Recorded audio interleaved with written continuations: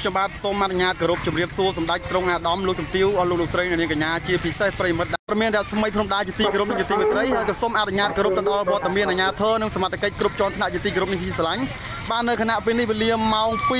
2:45នាទីត្រូវនឹងថ្ងៃច័ន្ទទី19ខែតុលាឆ្នាំ2020ដោយខ្ញុំបាទរនបានរីជាក្រុមការងារកំពុងតែមានវត្តមានស្ថិតនៅក្នុងបេតុងមួយកន្លែងបាទគឺស្ថិតនៅក្នុងភូមិបរិយសន្តិភាព2បាទសង្កាត់សង្កាត់ចំចៅទីម៉ានអ៊ំចំចៅ2បាទនៅនៅក្នុងបរិយសន្តិភាព2បាទគាត់ធ្វើការកោតកម្មបិទផ្លូវគឺអំណាចឡានក្រុងបាទយកទៅពុះ ដីឡូក៏ដូចជាធ្វើជាផ្ទះល្វែងលក់បាទប្រិមត្តទិជនបាទហើយចូលមកដល់ថ្ងៃច័ន្ទទីថ្ងៃច័ន្ទវេលាម៉ោង2រសៀលឈានចូលថ្ងៃទី19ខែតុលាឆ្នាំ2020នេះបាទពួកគាត់នៅតែបន្តការ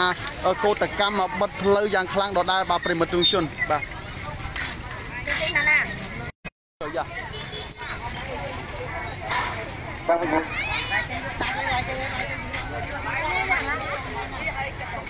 បាទប្រជាជនយើងទាំងអស់គ្នាថ្ងៃនេះគឺយើងនាំនេះចេញមកតវ៉ាគឺបានចង់បានកម្រិតជនក្រុមមែនទេបងប្អូនបំរាប់ប្រយោជន៍រួមទាំងមូលមិនមែនពីយើងយោជយោជយោ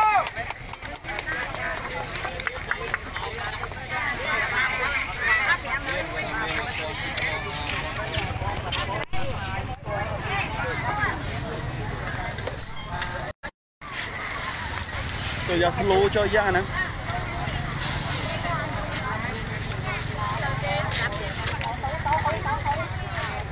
អដលអដលបាទបងមកពីខាងព័ត៌មានដែលស្មិចដាបងអឺអញ្ចឹងការពីខែតុលាគឺការកោតកម្មបិទផ្លូវម្ដងរួចទៅហើយដែលចង់បានទៀមទាននៃពេលឡានក្រុងដើម្បីឲ្យយកមកវិញតើថ្ងៃទីប្រហែលដែរបងថ្ងៃប្រហែលថ្ងៃមុនខ្ញុំភ្លេចបាត់ឯបងស កម្មភាពតវ៉ាទៀមទាចំណតឡានក្រុងចាថាឲ្យប្រជាជនហ្នឹងបបាយក្រុមទៅកុំឲ្យស្ទះផ្លូវគាត់នឹងដោះស្រាយឲ្យ3ថ្ងៃទៀតគាត់នឹងរើថ្មរើអីហ្នឹងចេញដើម្បីឲ្យចំណតឡានក្រុងចូលនឹងការធ្វើដំណើររបស់ប្រជាពលរដ្ឋហើយដល់ទៅ ចិត្តគាត់នាំគ្នាមកបដកម្មម្ដងនេះគឺគាត់អាចចេញទេនោះតាមបានចំណត់ឡើងចង់ហ្នឹងដោយតាមមិនបានគាត់បបាយជួចេញមកបាទបងអរគុណច្រើនដែលបងបានជួយបញ្ជាក់ប្រាប់អង្គភាពព័ត៌មានយ៉ាងថ្មីព្រំដាអញ្ចឹងតើបងប្រម៉ូទៅដូចជាបដូរជាងត្រូវនៅថ្ងៃទី19ខែតុលាឆ្នាំ2020នេះបាទដែលមានបងប្អូនវិជាពលរដ្ឋយើងមានទាំងស្រីទាំងប្រុសអ៊ូអូនកំពុងតែមានវត្តមានឈើនៅតាមម្ដងផ្លូវផ្ទាល់តែម្ដង គាត់សន្យាថា3ថ្ងៃគាត់នឹងដោះស្រាយឲ្យចំណត់ឡានក្រុងនឹងមកប្រជាពលរដ្ឋវិញតែការពិតគាត់អត់មានគោរពគោលការណ៍របស់គាត់ទេហើយបានជាបងប្អូនជាពលរដ្ឋនៅក្នុងបរិយាសន្តិភាព2នេះគាត់មានការក្តៅក្រហាយគាត់នាំគ្នាចេញមកតវ៉ាម្ដងទៀតដោយសារគាត់បានកន្លែងចតធំទលាយ៉ាងទៀតបងព្រោះការចតឡានចតដងរបស់គាត់បាទអរគុណមេធាបាទបងអឺបាទទីតាំងនេះគឺស្ថិតនៅក្នុង វិញយើងនេះបងបាទគឺករណីបងប្អូនវិជាពលរដ្ឋរាប់រយគ្រូបានបាត់បង់គេហៅថាចំណតរថយន្តក្រុង ដែលធ្លាប់តែមាននៅក្នុងទីតាំងក៏ដូចជានៅក្នុងភូមិរបស់ពួកគាត់បាទងាយស្រួលនៅក្នុងពួកគាត់បានធ្វើដំណើរទៅទីជិតទីឆ្ងាយដោយចំណាយនៃថវិកាតិចតួចអញ្ចឹងបាទ គេចង់យកចំណតរថយន្តក្រុងហ្នឹងយកទៅពុះផ្ទះល្វើធ្វើជាដីឡូលក់មែនបងបាទបងគេពុះជាឡូគេលក់អីដល់ពេលនេះទៅខាងសន្យារបស់គាត់ទេធ្វើធម្មតាបាទបងបាទនៅតែនៅតែនិយាយចឹងភាគីដែលគាត់សាងសង់ចង់យកទីលានដែលហៅថាជាចំណតយន្តក្រុងនេះគឺគាត់នៅតែបន្តការនៃការសាងសង់ ស្រ័យពីបងប្អូនប្រជាពលរដ្ឋយើងចរចាគ្នាបានដាច់ស្រេចសិនឬមួយចាំសាងសង់គឺគាត់នៅតែបន្តការសាងសង់ដដែលបងណាបាទបងបាទនឹងហើយចឹងចំពោះបងដែលឃើញទង្វើនៃភាគីខាងមកលើគេហៅថាទឹកដីរបស់ខ្លួនដែលយកទៅគួ រតែបុគ្គលម្នាក់តែវាប៉ះពាល់មកដល់បងប្អូនប្រជាពលរដ្ឋយើងរាប់រយគ្រួសារដែលគាត់ខ្វះខាតថវិកាក៏ដូចជាចង់តាណាមណាអីមានឡានក្រុងយើងជិះទៅចំណាយលុយតិចអីចឹងមកណាបាទបាយក្រុងខួនស្រេងឲ្យគាត់បានដឹងពីព័ត៌មាននេះក៏ដូចជាឲ្យគាត់ចុះមកជួយអន្តរាគមន៍ក៏ដូចជាជួយបងបងមានអ្វីចង់ប្រែផ្ដាំបងខ្ញុំជាចុងក្រោយមានតែប្រែផ្ដាំថាសូមលោកដែលមាន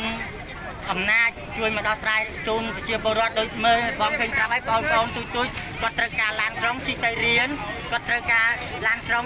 ធ្វើដំណើរទៅសួនស្វាលេងជីអ្នកខ្លះគ្នាអត់គ្នាមានឡានក្រុងជីគេអត់យកលុយទេគាត់នៅវ័យសិក្សាអញ្ចឹងហ៎បាទបាទបាទហើយបើបានបាទបាទអរគុណច្រើនជំជូនឥឡូវតាមសេចក្តីបញ្ជាក់ពីបងប្រុសបាទក៏បានបញ្ជាក់រាយរាប់ប្រាប់អង្គភាពព័ត៌មានរដ្ឋស្មីភ្នំដាយើង ដូចជាដីដែលត្រូវជាកណ្ដាសាំងបាទហើយក៏ដូចជាពីមុនគឺមានក្លឹបហាត់ប្រាណមួយកន្លែងដែរបងណាបាទនឹងហើយក៏ត្រូវបានលក់បាត់ក្លឹបហាត់ប្រាណមួយបាត់ហើយយើងអត់និយាយទេយើងនិយាយថាចំណត់ឡានយើងនិយាយថាចំណត់ឡានក្រុងទេកូនចៅក្រោយគាត់បានឡានបានកន្លែងធំសម្រាប់ជិះឡានទៅពីមុនគេដំណើរការហ្នឹងគឺកន្លែងហ្នឹងធំណាស់ បាទបងបាទសម្រាប់ចតឡានក្រុងហ្នឹងបាទបាទអរគុណច្រើនបងអរគុណច្រើនតែឥឡូវប្រិមត្តទូជនឥឡូវយើងបង្វែរអារម្មណ៍បាទទៅធ្វើការ15 16ឆ្នាំហ្នឹងហើយថាគាត់មានការការទប់មិនសុខចិត្តក៏ដូចជាចង់បាននៃអ្វីដែល អូនអូនគ្រប់ត្រទេអូនគ្រប់ត្រទេដែលដែលដែលគេយកបេនឡានក្រុងយកទៅពុះដីឡូលក់ឲ្យអូនពិបាកនៅក្នុងការធ្វើដំណើរជិះឡានក្រុងទៅសិក្សាអីអូនអូនព្រមឲ្យគេយកទេអូនបើសិនជាបាត់បង់មែនពីនេះគាត់មានការជិះបើសិនជាអូនបាត់បង់បេនឡាន សិនជាអូនបាត់បង់បេនឡានក្រុងតើអូនមានអារម្មណ៍យ៉ាងម៉េចដែរឡារៀនមានទីពេទ្យមានជីមានចំណអត់មានអីជីពិបាកខ្លាំងណាស់ណាអញ្ចឹងអូនមានអ្វីចង់ប្រែផ្ដាំក៏ដូចជាចង់សំណើទៅដល់មន្ត្រីដែលពាក់ព័ន្ធថ្ងៃនេះខ្ញុំមកទៀមទីឲ្យបានខ្លាចខាតព្រោះអីពីមុនមានបងដែលមានអំណាចហ្នឹងគាត់ថាគាត់យ៉ាងណាបីថ្ងៃនោះរើថ្ងៃនេះដើម្បីទុកធ្វើជាហ្នឹងហើយបងទីតាំងនឹងកន្លែងបងប្អូនជាប្រវត្តិយើងបានធ្វើការពឺមក បាទមកមុខតិចមកគឺមានផ្លូវបេតុងមួយខ្សែហ្នឹងត្រង់នឹងកដាសាំងហ្នឹងគឺយើងបត់ឆ្វេងត្រង់មករហូតប្រហែលជា2គីឡូដីគឺមកដល់នឹងការពួកគាត់បានសម្រេចចិត្តបានធ្វើឡើងជាលើកទី2ទៅនឹងហើយណាអ៊ំប្រុសណាជាលើកទី2ហើយតែអ្វីដែលសំខាន់ដែលពួកគាត់ការទប់មិនសុខចិត្តនោះគឺអឺខាងជាងក៏ដូចជាខាងអ្នកដែលពាក់ព័ន្ធ បាទគាត់មិនមិនសម្រាប់ក៏ដូចជាចាំនៅក្នុងការដោះស្រាយពីបងប្អូនប្រជាពលរដ្ឋយើងសិននេះគឺគាត់នៅតែបន្តការធ្វើដដែលបាទ3ជាងនឹងហើយថ្ងៃទី19ខែតុលាឆ្នាំ2020នេះបានធ្វើការបិទផ្លូវជាលើកទី2តែម្ដងនៅលពូណាបាទនឹងហើយលពូមានអីចង់ផ្ដាយផ្ដាំទេលពូហើយមើលទៅពិបាកខ្លាំងមែនទែនពូណាដល់ពេលយើងបាត់បង់បេនឡានក្រុងនេះទៅគឺពិបាកមែនទែនលពូណា បាទបាទបាទ តែគេយកហ្នឹងគឺគេចាក់ថ្មអស់ហើយបាទ បាទបាទ ต้องចាក់ថ្មអស់ហើយបាទខ្ញុំចង់បានឡប់មកវិញដើម្បីសម្រាប់ខ្ញុំចង់ទៅភ្នំពេញទៅណាអីជិះម៉ូតូឌុបជិះចៅបានតែរៀនសូត្រ បាទវាសមត្ថភាពទីលពូណាសមត្ថភាពទីបើជាយើងមាន2000 3000ក៏ទៅដល់ភ្នំពេញលពូណាបាទហើយដល់ពេលយើងបាត់បង់ឡានក្រុងទៅម៉ូតូឌុបបាទ10000នេះទៅម្ដងនេះទៅមកលពូណាបាទបាក់អញ្ចឹងលពូណាបាទអញ្ចឹងអ្វីដែលលពូសំណើក៏ដូចជាចង់បាននោះគឺគ្រាន់ ់ ណាមិនចង់ឲ្យបាត់បង់លពូណាបាទព្រោះវាបាត់បង់មួយសារហើយកាលណាផ្សារស្អីស្អីនោះបាត់បង់អស់ហើយបាទបាទឥឡូវនៅសល់តែបេនឡានក្រុងមួយហ្នឹងឥឡូវគេយកបេនឡានក្រុងទៀតបាទបាទបាទសុំសុំឲ្យតែបានតែបេនឡានក្រុងទេរឿងថាកាលណាអីគេយកហ្នឹងរត់យើងដើម្បីធ្វើដំណើរទៅភ្នំពេញឬទៅណាដែលចិត្តចិត្តនឹងវាបានធំថ្លៃបាទព្រោះជិះម៉ូតូហើយវាថ្លៃអញ្ចឹងនេះអឺលទ្ធភាពលពូអឺជាស្រេច បិទផ្លូវជាលើកទី1នោះគឺតាមទទួលដំណឹងពីបងប្អូនជាពលរដ្ឋយើងបានបញ្ជាក់ថាអឺលោកអភិបាលក្រុងធុនស្រេងគាត់ចូលមកជួយអន្តរាគមន៍មែនទេលពូបាទខ្ញុំថ្ងៃហ្នឹងខ្ញុំឲ្យបានទៅដដែលឥឡូវនៅដដែលចូលចូលមួយអាទិត្យជាងណាពូណាបាទបាទហើយចឹងរយៈពេលមួយអាទិត្យជាងហ្នឹងតើការសាងសង់របស់ជាងដែលបំរុងនឹងធ្វើតែល្បីនេះគឺគាត់សាងសង់បានប្រហែលប៉ុន្តែគេដឹកអត់ដឹកថ្មមកចាក់ពេញហ្នឹងមកអានៅបាទពេលឡានក្រុងនេះពេលឡានក្រុងមើលថ្មទៅអត់ បាទអញ្ចឹងបានន័យថាអឺបងប្អូនប្រជាពលរដ្ឋយើងអឺកំពុងតែមានការអឺអឺការទុកមិនសុខចិត្តខ្លាំងឡើងខ្លាំងធ្វើការកាន់តែខ្លាំងឡើងខ្លាំងឡើងដែរលពូណាកំពុងតែមិនពេញចិត្តនឹងទង្វើរបស់គាត់ហើយពួកគាត់នៅតែខិតខំធ្វើអញ្ចឹងលពូណាបាទហ្នឹងហើយអរគុណច្រើនលពូបាទដែលលពូបានចូលរួមធ្វើបទសម្ភាសន៍ជាមួយនឹងខ្ញុំបាទជាក្រុមការងាររដ្ឋស្មីព្រំដាហើយក៏សូមមកជូនពរដល់បងប្អូនទាំងអស់មកវិញដែលដែលដែលត្រូវជា អីបាទពីព្រោះពួកគាត់ត្រូវការអ្វីដែលគាត់បាត់បង់នោះខ្លាំងបំផុតបាទសម្រាប់ក្មេងចំនួនចំនួនក្រោយប៉ុនប៉ុននេះអីបាទប្រិមត្តជនបាទហ្នឹងហើយគឺពួកគាត់ត្រូវការខ្លាំងមែនទែនបាទបាទបងប្អូនជួយជួយឡើងមកលើបងប្អូនជួយកបានអស់គ្នាបងប្អូនបាទជួយជួយឡើងលើនេះបងប្អូនបងប្អូនយើងជួយឡើងលើមកលើបាទសូមជម្រាបបងប្អូន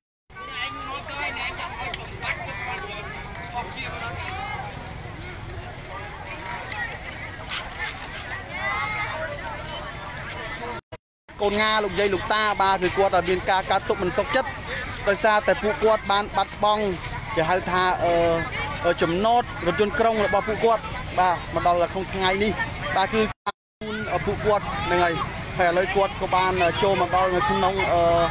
ម៉ោង2រសៀលត្រូវនៅថ្ងៃច័ន្ទបាទទី19ទៀមទាចង់បានគេហៅថាទ្រព្យសម្បត្តិរួមដូចជាទ្រព្យសម្បត្តិរបស់គាត់ដែលធ្លាប់តែបាន ឃើញបានឃើញថាមានរថយន្តក្រុងដឹកជញ្ជូនភ្ញៀវយើងទៅមកហើយចំពោះអ្វីដែលស្រួលដំណើរបានទៅដល់ទីក្រុងភ្នំពេញដែរបាទហើយចំណែកអ្វីដែលបាត់បង់បេនឡានក្រុងពីទឹកដីក៏ដូចជាភូមិនិងបុរីរបស់ពួកគាត់នោះបាទគឺធ្វើឲ្យពួកគាត់នឹងមាន បាទហើយគាត់ចង់ទៅភ្នំពេញបាទបងប្អូនដឹងហើយបាទ15000អីភ្នំពេញទៅមកអីគេមិនទៅទេ15000បាទប្រិមត្តទុជនបាទហើយបើសិនជាមានចំណតឡានក្រុង3000លុយខ្មែរគឺពួកគាត់អាចទៅមកបាទពួកគាត់មាន15000ក៏ទៅក៏ទៅមកមិនរួចទេបាទប្រិមត្តទុជនបាទនឹងហើយខ្ញុំបាទក្នុងនាមខ្ញុំជាអ្នកព័ត៌មានបាទខ្ញុំបាទបានតែមកត្រឹមចុះមកផ្ដិតយកទស្សនាតែប៉ុណ្ណោះហើយចំណាយការអះអាងក៏ អីទេបាទហើយក្នុងក្នុងនាមខ្ញុំជាខ្មែរហើយក៏ដូចជាកូនខ្មែរខ្ញុំបាទក៏សូមជូនពរទៅដល់បងប្អូនប្រជាពលរដ្ឋដែលកំពុងតែមានវត្តមានបាទនៅក្នុងក៏សូមជូនពរឲ្យពួកគាត់បាទបានសម្រេចដូចសេចក្តីប្រាថ្នារបស់គាត់ដែលគាត់ចង់បានហ្នឹងហើយអរគុណច្រើនបងណាបាទជូនពរជូនពរបងប្អូនលោកតាលោកយាយបាទឲ្យបានអូសេចក្តីប្រាថ្នាទៅបាទនៅពួកគាត់មែនទែនបាទគាត់មកទាំងចាស់ទាំងក្មេងបាទហ្នឹងហើយ នឹងឲ្យជួយថែរក្សាបាទទ្រព្យសម្បត្តិក៏ដូចជារបស់ដែលថិតថែនៅក្នុងទឹកដីនេះបាទដូចជាបេនឡានក្រុងនេះជាដើមដែលជាពួកគាត់ធ្លាប់តែឃើញធ្លាប់តែបានជិះបាទសូមឲ្យកុំឲ្យបាត់បង់បាទឲ្យបានមកលើដៃពួកគាត់វិញទាំងអស់គ្នាបាទហ្នឹងហើយសូមអរគុណបាទឥឡូវខ្ញុំខ្ញុំសូមអរគុណបាទអ្នកមកគាត់ប្រកាសថាបាទខ្ញុំខ្ញុំសម្រាប់អ រគុណអរគុណបាទអរគុណដល់សាច់នេះសូមការតាវ៉ានេះខ្ញុំមានសម្រាប់អរគុណវ៉ាផងឡើយនេះខ្ញុំចូលទៅលោកតាចូលទៅមិនតែចៅប្រជាជនបរិសុទ្ធមិនតែមានសកម្មភាពបេសាសកូនចៅបាត់ពីបេសាដល់អត់ទេចាទៅចាអត់សេវាហ្នឹងហ្នឹងយ៉ាងណាក៏បានដែរយ៉ាងណាក៏បានដែរប្រជាជនទៅជួយប្រជាជនគ្រប់ប្រជាជនមក រយយកទៅទីទៅតាមតែជំនួសល្អ dan nak pasang berarti nak tanya ke dia pakai បាទសូមបញ្ជាក់ផងដែរបាទប្រិមត្តទនិជនបាទករណីនេះគឺបងប្អូនប្រជាពលរដ្ឋបាទរាប់រយគ្រួសារបាទដែលគាត់រស់នៅក្នុងបរិយាសន្តិភាព2បាទគឺសង្កាត់ចំចៅទី2បាទខណ្ឌពោធិ៍សែនជ័យរាជធានីភ្នំពេញដែលគាត់មានការការទប់មិនសុខចិត្តដោយសារការ៉ាសាំងការ៉ាសាំងសូមអធិស្ឋានប្រិមិត្តដោយសារចំណតរថយន្តក្រុងដែលពួកគាត់ធ្លាប់តែងាយស្រួលនៅក្នុងការធ្វើដំណើរទៅណាមកណានោះបាទឥឡូវគឺត្រូវបានអ្នកដែលមានអំណាចម្នាក់បាទបានយកមកពុះដីឡូបាទបំរុងនឹងសង់ផ្ទះល្វែងលុកបាទប្រមិត្តជនបាទឲ្យពួកគាត់ចង់ទាមទារបាទយកមកវិញបាទដោយសារពួកគាត់ត្រូវការបេនឡានក្រុងក៏ដូចជាត្រូវការឡានក្រុងមកធ្វើជើងរត់នៅទីនេះវិញបាទដើម្បីឲ្យពួកគាត់ងាយស្រួលនៅក្នុងការធ្វើដំណើរទៅណាមកណាទៀតបាទប្រិមត្តជនបាទបាទខ្លាំងមកជួយយកខ្លាំងមកជួយច្បាស់រឿងរួចណាបាទ បាទថ្ងៃនេះដល់ថ្ងៃនេះដល់អាទិត្យក្រោយដល់ថ្ងៃទៀតអាទិត្យក្រោយដល់ថ្ងៃបានបោះថ្ងៃទៅតែតាមហ្នឹងតែតែក្បាលហ្នឹងបាទហើយយើងមើលទស្សនវិជ្ជាទាំងស្រុងបាទប្រិមិត្តហើយបាទទស្សនវិជ្ជាទាំងស្រុងដែលពួកគាត់បាទកំពុងតែធ្វើការកោតកម្មក៏ដូចជាការតវ៉ាបាទទាំងចាស់ទាំងក្មេងបាទទាំងប្រុសទាំងស្រីបាទនឹងហើយដែលពួកគាត់នឹងឲ្យមិនខ្លាចក្តៅបាទ នឹងបើសិនជាភ្លៀងបាទពួកគាត់ប្រហែលជាអង្គុយនៅហាភ្លៀងដែរប្រិមត្តទុជនបាទហើយចំណាយដល់ខ្ញុំបាទជាអ្នកព័ត៌មានបាទគឺខ្ញុំមិនខ្លាចក្តៅដែរបាទប្រិមត្តទុជនបាទគឺខ្ញុំនៅតែបន្តការផ្សព្វផ្សាយព័ត៌មាននេះដើម្បីចែកជូនបងប្អូនប្រជាពលរដ្ឋដែលគាត់រស់នៅទីរួមខេត្តក៏ដូចជានៅតាមជនបទឬមួយបងប្អូនមិនបាននៅទីនេះបាទឲ្យគាត់បានដឹងថាពួកគាត់កំពុងតែធ្វើការកោតកម្មតវ៉ាចង់បានអ្វីយកមកវិញឲ្យប្រកបបាទហើយក៏សូមបញ្ជាក់ទៀតដែរបាទករណីនេះគឺ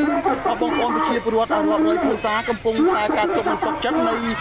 អ្នកដែលមានអំណាចម្នាក់បាទបានយក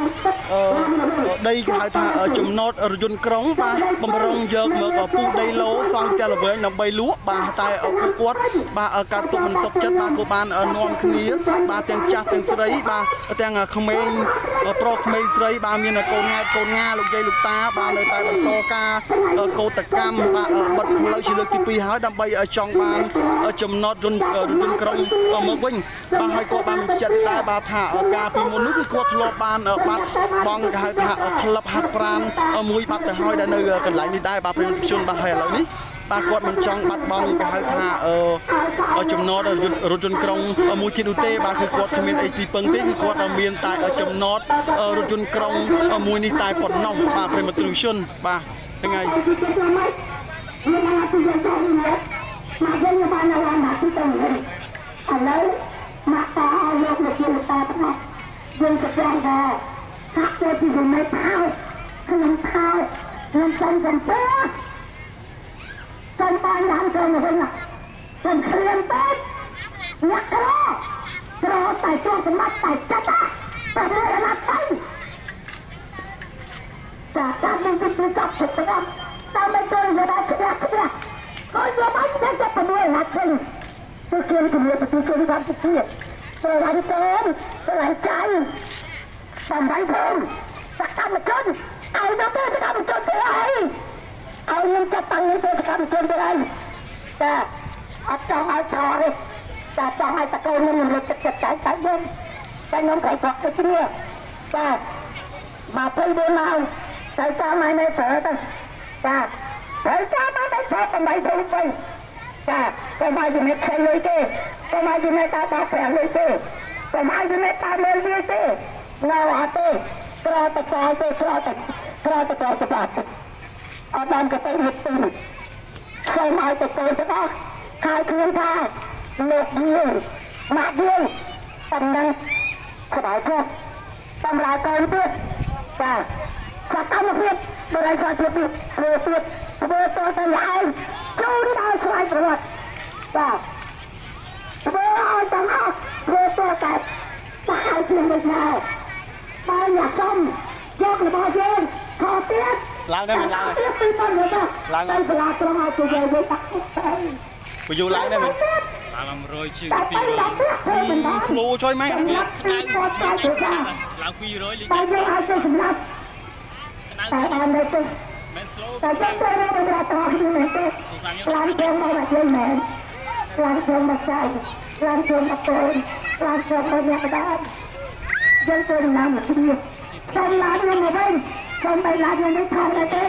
ខោដល់ទៅត្រង់គ្នាបាត់ណាស់នោះនោះសូមមកយើងមកខោណា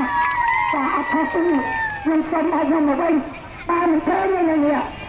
ចាចេះចាំសំដែង ចេះចាំជឿចេះចាំមានមកទៅសម្រាប់បុរីចាំទីងាប់បាត់ការទុកជ័យនឹកក្រែងឈ្មោះប្រហែលអត់ទៅលួយទេយើងនៅគឺនៅទៅចូលទៅមកដល់អត់ទេទេកូនអត់ទេអត់តកូននៅនៅនោះអត់តកូននៅនៅនោះតាទេតាមានតែទៅមក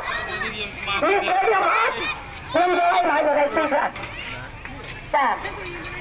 កាត់ទៅបាក់ខ្ញុំទៅទៅមក តែសារៈទីចូលមកទៅមកក៏អត់ផង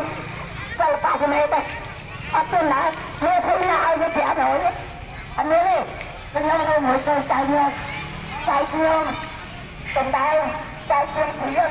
ចៅខ្ញុំរួមចៅខ្ញុំចំណេះពីឲ្យខ្ញុំខ្ញុំទៅឲ្យចៅចៅខ្ញុំទៅអស់នេះពេលខ្លះឲ្យយើងជំនាញទៅដល់ទីតែមិនមានតែធ្វើដល់ទៅលេមើលមើលទេ សហគមន៍ជួយមួយហើយសហគមន៍មិនមែនទៅជាសហគមន៍លួចចូលសហគមន៍ជាខុសរឿងជាខុសមែនណាបាទបងអឺទីតាំងគឺស្ថិតនៅក្នុងបរិយសន្តិភាព2បងបាទបរិយសន្តិភាព2បាទសង្កាត់ចောင်းចៅទី2ខណ្ឌពោធិ៍សែនជ័យ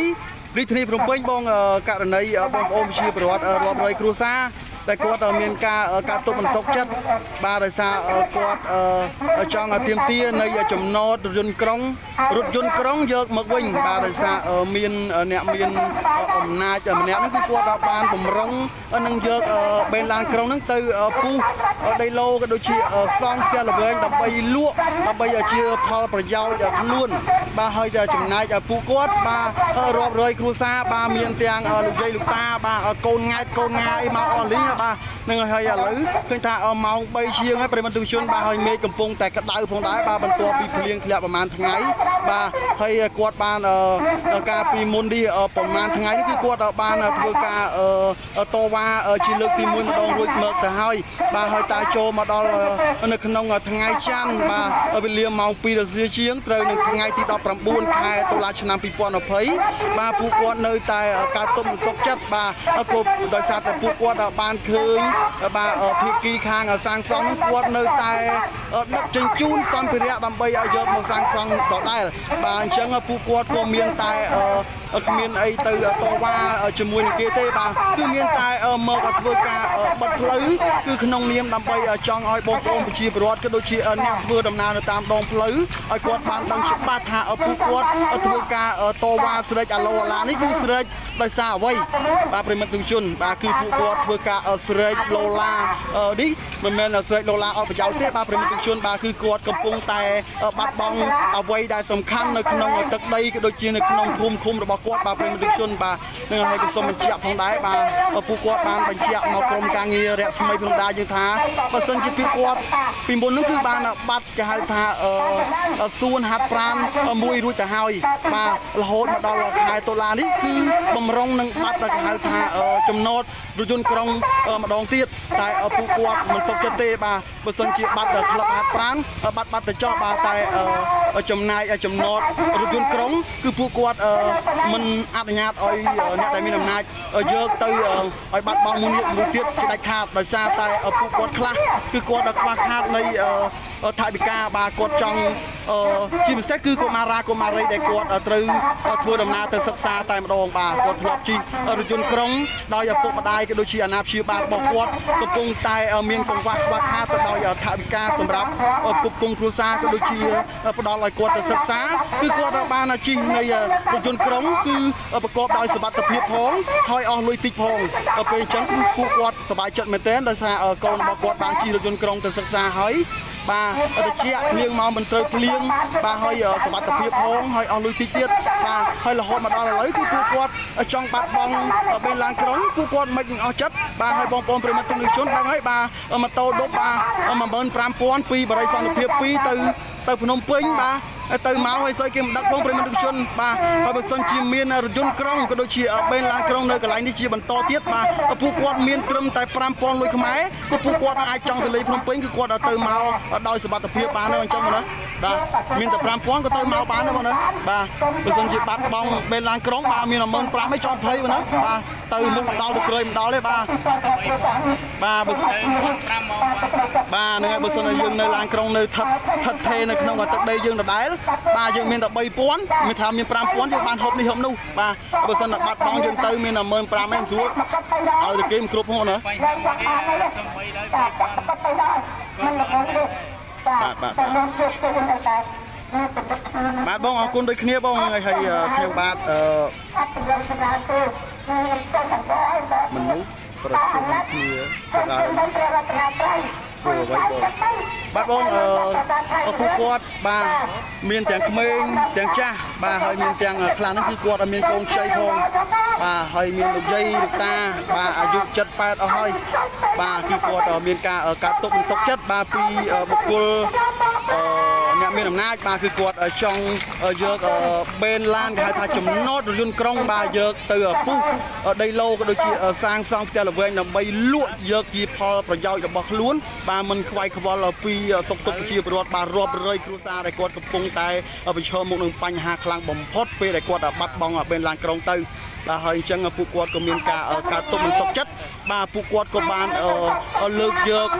គេហៅថាគ្នាគ្នាក៏ដូចជាមានទាំងលោកយាយលោកតា បាទហើយកូនង៉ែតកូនងាមកអស់ហើយបាទហ្នឹងហើយគឺ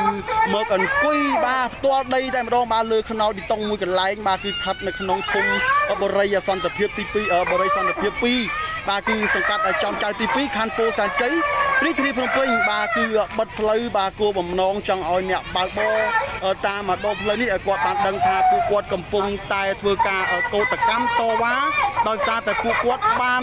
ចិត្តបាត់បង់ចំណត់រថយន្តក្រុងរបស់ពួកគាត់តែប៉ុណ្ណោះទេបាទហ្នឹងហើយបាទឥឡូវយើងមើលបាទទស្សនវិជ្ជាទាំងស្រុងបាទពួកគាត់កំពុងតែស្រែកបាទ បាទហើយក្នុងនាមខ្ញុំជាពលរដ្ឋខ្មែរក៏ដូចជាអ្នកព័ត៌មានបាទក៏សូមជូនពរទៅដល់បងប្អូនប្រជាពលរដ្ឋដែលរស់នៅក្នុងបរិយាសន្តិភាពទី2បាទអ្វីដែលជារបស់បងប្អូនប្រជាពលរដ្ឋបាទសូមកុំឲ្យបាត់បង់អីបាទសូមឲ្យថែនៅគង់វង្សសម្រាប់ពួកគាត់តទៅមុខយ៉ាងយូរអង្វែងតទៅទៀតបាទហ្នឹងហើយបាទ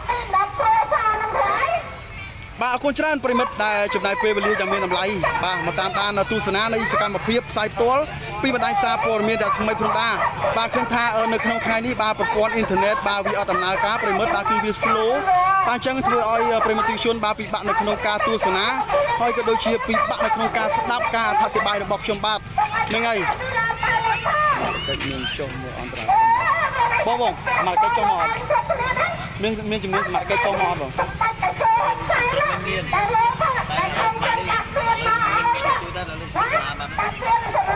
បាទបងបាទបងមានបងតាមសេចក្តីបញ្ជាក់ពីបងប្អូនយើងថាមានបាទហើយឥឡូវគឺគាត់ក្តៅគាត់ដែរបាទគាត់ក្តៅដែរអញ្ចឹងប្រហែលជាគាត់រកកន្លែងគួសមបាទមិញមកតែវា10មកមានសមត្ថកិច្ចជំនាញនៅឆ្លៃពីសាលាខេត្តមកពីសមត្ថកិច្ចនេះ slow វិញហើយគាត់បတ်ឡើងចេះឡើងវិញខ្ញុំមើលបတ်ទៅសមត្ថ កិច្ចមានចុះមកអន្តរាគមន៍សមត្ថកិច្ចព្រឹកបាទបងសមត្ថកិច្ចការពីព្រឹកគាត់បានមកដែរបងមកដែរដល់ពេលឥឡូវនេះក៏មកដែរប៉ុន្តែគ្រាន់ថាមេឃកំពុងតែក្តៅបាទអូនោះសមត្ថកិច្ចមិនទៅគឺជាខ្ញុំបំរើរបស់ជាពលរដ្ឋ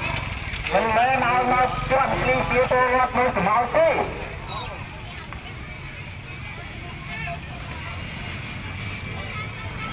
ចង់បានអត់អត់ខ្លះចង់បានឬចង់បាន គឺតែពីមិនដឹងរឿងចង់ឬចង់ឲ្យគាត់ដល់ពេលឡានទៅនឹងទៅសម្រាប់ទៅហើយគេជូនតែគាត់អត់អត់ទៀតស្បាសាលារៀនទីពេទ្យដល់ពេលដល់ពេលគេជូនតែអត់អត់ហ្នឹងអត់តែគាត់ទេអី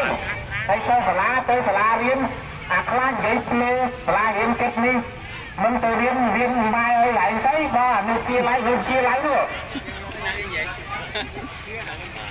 គេដល់អនុវិទ្យាល័យគាត់ថ្នាក់ទី9យកគាត់ត្រូវទៅវិទ្យាល័យដែរ អញ្ចឹងទៅសុំមកហើយអត់មានអីណាបាទអញ្ចឹងបងប្អូនប្រិមត្តទិជនបាទក្នុងនាមយើងជាជាពលរដ្ឋខ្មែរក៏ដូចជាកូនខ្មែរបាទទោះបីជាយើងមិនអាចជួយដោះស្រាយនៃការបាត់បង់ដីរបស់ពួកគាត់បាទនឹងឯក្នុងនាមយើងជាជនជាតិខ្មែរបាទយើងគ្រាន់តែជួយពួកគាត់បាទដើម្បីឲ្យ share រំលែកព័ត៌មាននេះម្នាក់មួយទៅបាទហាក់បីដូចជាជួយពួកគាត់អញ្ចឹងបាទនឹងហើយគឺ share ដើម្បីអីប្រិមត្តជនបាទគឺយើង share ដើម្បីចង់ដឹងថាមានជំនាញក៏ដូចជាមន្ត្រីណាដែលគាត់មានសមត្ថភាពអាចចុះមកដល់ទីតាំងនេះបាទកាត់ក្តីជូនបងប្អូនជាពលរដ្ឋបាទហ្នឹងហើយគ្រាន់តែចង់ប៉ុណ្្នឹងឯងបាទប្រិមិត្តបាទហ្នឹងហើយនឹងហើយយើងជឿជាក់ថាបងប្អូនទស្សនានឹងខ្លះនៅឆ្ងាយបាទនៅដល់ប្រទេសថៃបាទនៅអូស្ត្រាលីនៅកូរ៉េអីបាទអញ្ចឹងគឺជួយពួកគាត់កើតទេបាទហើយបើចង់ជួយពួកគាត់បាទគឺមានតែជួយ share ហើយដូចជារំលែកព័ត៌មាននេះបាទនឹងហើយយើងបានបុណ្យនឹងអស់គ្នាបាទហើយក៏សូមជូនពរដល់បងប្អូនទុកជាមុនផងបាទសម្រាប់ការជួយ share បាទហ្នឹងហើយសម្រាប់ការជួយ share រំលែកព័ត៌មាននេះបាទជូនពរបងប្អូនរកទទួលទានមានបានគ្រប់គ្រងគ្រួសារបាទធ្វើដំណើរទៅណាបាទប្រកបដោយសុខភាពតាមដងផ្លូវបាទហើយទៅទីចិត្តទីឆ្ងាយបាទជួបតែនោះល្អល្អបាទហើយចំណែកក្តីសុខនិងសុភមង្គលក្នុងគ្រួសារបាទកើតមានរហូតបាទហ្នឹងហើយធ្វើរលាក់អស់មិនមែនថាក្នុងដាក់គុំនេះទេតែឡានគេរៀបចំតែអស់នេះមិនទេមានឡានទូន A ទូន B មកពីកបោទៅកំកំទៅបច្ចេកទេសគឺឥឡូវតោះទៅទៅណាទឹកគេដាក់ឲ្យបាទអញ្ចឹងប្រិមត្តទស្សជនបាទសូមបញ្ជាក់ម្ដងទៀតបាទគីឡូបងប្អូនយើងខ្លះបាទគាត់បានចូលទស្សនាក្រោយ បាទគាត់មិនដឹងករណីនេះបានច្បាស់បាទក៏សូមបញ្ជាក់ផងដែរបាទករណីនេះគឺបងប្អូនជាពលរដ្ឋបាទប្រហែលជា4 500គ្រួសារបាទដែលគាត់មានការការទុកមិនសុខចិត្តបាទដោយសារបុគ្គលមានអំណាចមួយចំនួននេះគឺគាត់បានយកបាទអឺចំណតរថយន្តក្រុងបាទដើម្បីយកទៅពុះបាទដីឡូបាទសង់ផ្ទះល្វែងដើម្បីលក់បាទចង់បានផលប្រយោជន៍តខ្លួនបាទមិនគិតគូរពីសមត្ថភាពក៏ដូចជាបាទអឺសុខទុក្ខបងបងបងជាពលរដ្ឋបាទរហូតមកដល់ក្នុងថ្ងៃច័ន្ទបាទវេលាម៉ោង2:46នាទីរសៀលត្រូវនៅថ្ងៃទី14ខែតុលាឆ្នាំ2020បាទពួកគាត់មានការកើតទុកមិនសុខចិត្តបាទដោយសារឃើញបាទអ្នកសាងសង់នៅតែបន្តការសាងសង់ដោយពួកគាត់នៅតែកំពុងតែមានទំនាស់បាទរវាងគ្នានឹងគ្នាបាទឲ្យចំណាយអ្នកសាងសង់សាងសង់នៅតែសាងសង់បាទអញ្ចឹងគឺពួកគាត់បានសម្រេចចិត្តបាទប្រមូលគ្នាបាទធ្វើការកោតកម្មបាទដើម្បីបិទផ្លូវបាទចង់ឲ្យប្រជាពលរដ្ឋក៏ដូចជាបងប្អូនដែលមានវត្តមានធ្វើដំណើរនៅតាមដងផ្លូវគាត់បានដឹងថាពួកគាត់កំពុងតែធ្វើការតវ៉ាបាទចង់បានកដាស់ចំណតរយន្តក្រុងមកវិញតែប៉ុណ្ណោះទេបាទហើយចំណាយក្លឹបហាត់ប្រានបាត់បង់មួយបាត់ទៅហើយនោះពួកគាត់មិនយកវិញទេបាទបាត់បាត់ទៅចោះបាទតែអ្វីដែលសំខាន់គឺចំណតរថយន្តក្រុងតែម្ដងបាទគឺសំខាន់សម្រាប់ពួកគាត់ខ្លាំងមែនទែនបាទប្រិមត្តជនចឹងដូច្នេះសូមឲ្យបណ្ដាអាជ្ញាធរគណៈ មួយខាងក្តៅគណៈខាងទៅគឺទៅនៅទីគាត់ទៅនេះដែរដើម្បីដោះស្រាយបញ្ហាចរាចរណ៍ទៅទាំងពីនេះហើយអត់កណ្ដោតទៅហ្នឹង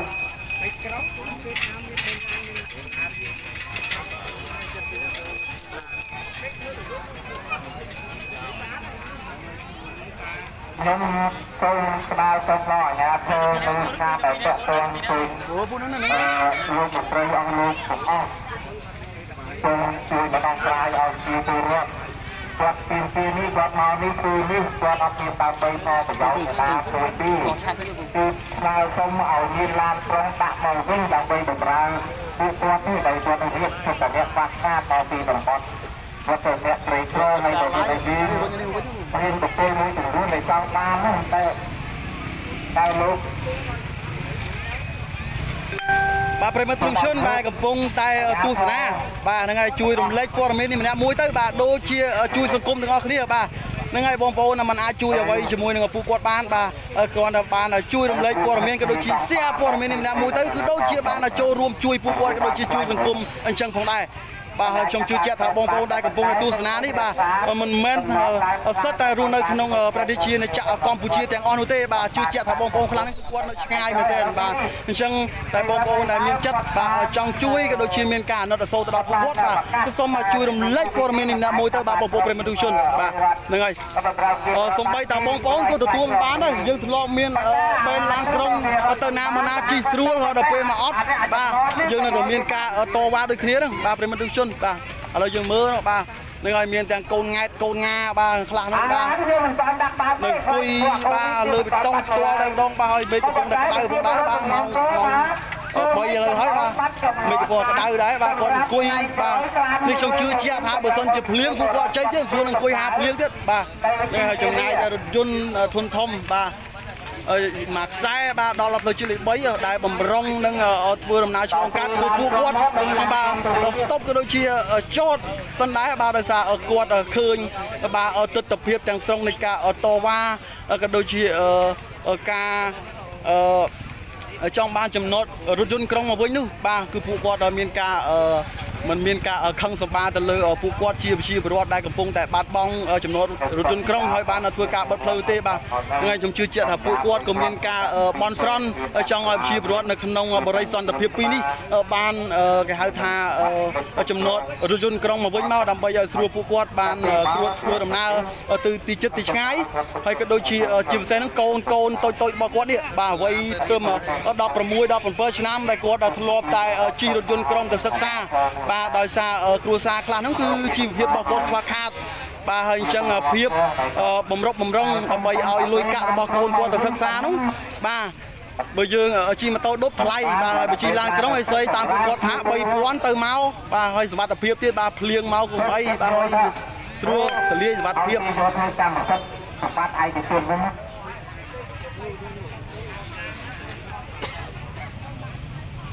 អត់ អត់យល់អត់យល់ផង slow មែនទេអាហ្នឹងវិញខ្ញុំអត់អត់យល់សោះ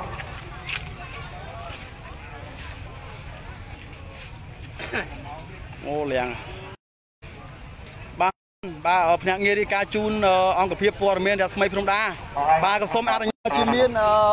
អឺករណីក៏ដូចជាមានការតវ៉ាខ្លាំងច្រើនជាងនេះខ្ញុំបាទនឹងធ្វើការផ្សាយផ្ទាល់ជាលើកទី2ម្ដងទៀតបាទតែមុននឹងបញ្ចប់ការផ្សាយផ្ទាល់ខ្ញុំបាទក៏សូមថ្លែងអំណរអគុណយ៉ាងជ្រាលជ្រៅបាទចំពោះប្រិមិត្តដែលចំណាយពេលវេលាយ៉ាងមានតម្លៃបាទមកតាមដានទស្សនានៃសកម្មភាពផ្សាយផ្ទាល់